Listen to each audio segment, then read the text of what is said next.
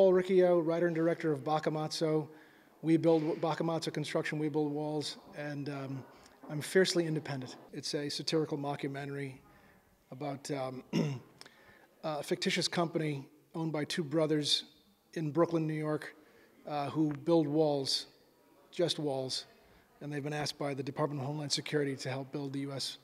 Mexico border wall, which they think is might might be the dumbest idea they've ever heard. So, I've always heard great things about the festival. Always uh, desired to be part of the festival.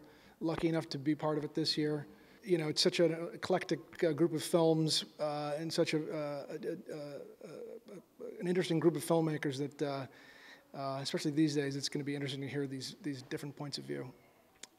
fiercely independent means you have no money, no time, you're beg, borrowing, and stealing to get your projects done, but they're all yours, and for the most part, no one's telling you what to do. Um, and it's your own voice uh, that's uh, kind of cutting through. So that's what being fiercely independent means to me.